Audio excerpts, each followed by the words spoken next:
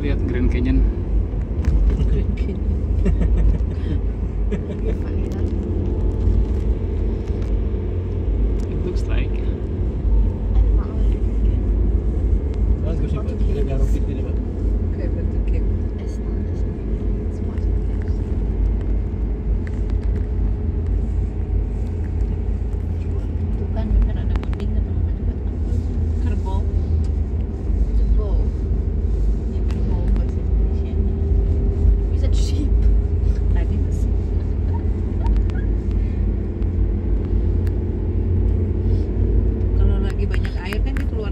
dari yeah. situnya.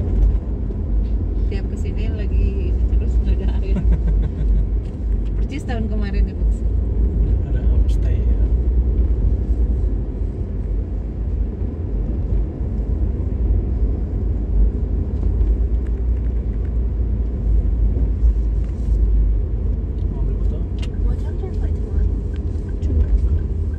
bisa ngambil fotonya?